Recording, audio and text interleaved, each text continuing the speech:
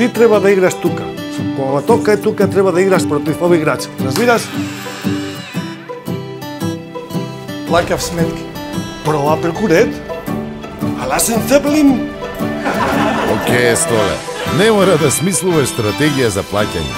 Постои поврз и поедноставен начин. Со Евана онлайн.